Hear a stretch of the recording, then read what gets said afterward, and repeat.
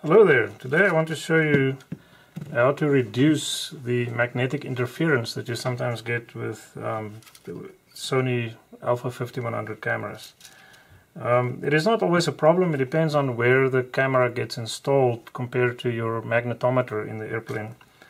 Uh, but if you have your camera close by your autopilot, where the magnetometer is situated, um, so if you have it close to your um, the, the, compass GPS unit on the Pixhawk, um, that is where you can potentially have a problem or where the, the Pixhawk unit itself is situated very close to the camera. So um, the problem is caused by a magnet that is um, in the, the display panel of the camera.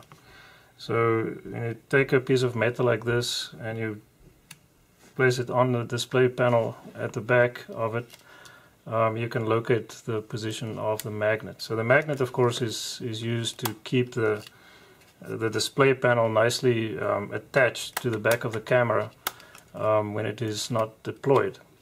Um, but there is actually a, a little bit of a, a, a sort of a, a, friction locking mechanism as well. So if you take the magnet out, um, it can still, you know, be placed in the in the um, sort of recessed position, and it will stay there. So it's not a big issue if you remove the magnet, um, but it does reduce the magnetic interference that you get with your autopilot. So, so again, just to show you, um, there's a little bit of a sort of a bump um, in the metal backplate of the display, and right there is where the magnet is situated. So taking the magnet out is actually a very simple procedure. Um, you just need to have uh, some some fine screwdrivers, um, a Phillips head, a fine Phillips head screwdriver to take the screws out. And then um, I, I, use a small flathead screw, screwdriver as well. Um, basically just to pry open the, the back of that panel. So first step is to take the screws out. Um, now there are four screws to take out uh, two right on the back of the panel and then two more on the edge of the panel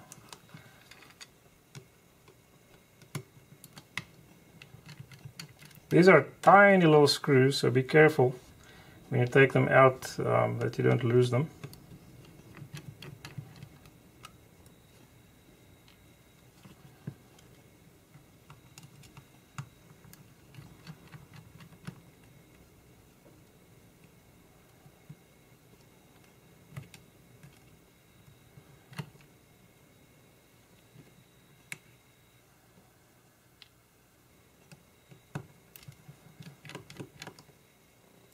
Okay, so now the screws are out and the next step is to to just pry the back plate off. Um, it's it's not attached very strongly, but it helps to to kind of use a you know, something like a small flathead screwdriver.